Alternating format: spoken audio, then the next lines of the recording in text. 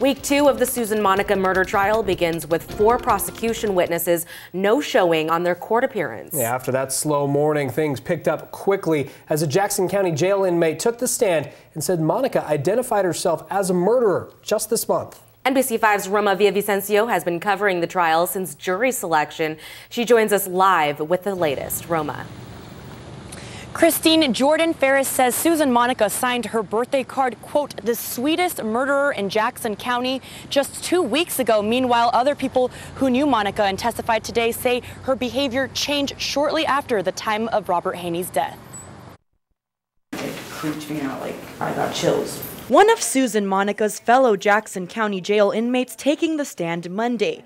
Jordan Ferris said Monica scared her this month when Monica wrote her a birthday note she never could have imagined. It says Happy B Day from the sweetest murderer in Jackson County, Susan Monica.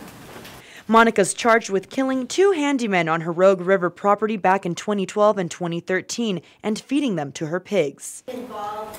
Also, Monday, several people who've known Monica for years took the stand, including a former tenant. She was always nice to me. And, and then I noticed a change. Michael Bales lived on Susan Monica's 20 acres in Rogue River for three years. Bales testified that Monica started acting differently when Robert Haney disappeared. She real irritated. Bales and other witnesses said Monica was always nice, but she and Haney didn't get along. And when she got angry, would she yell at him? Not really a yell, more of a scold.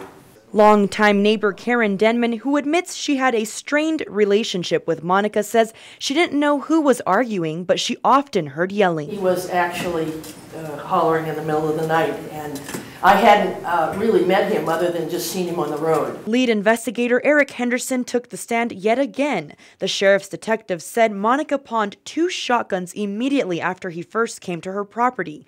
No word on whether they're the same guns that killed Haney and Delicino.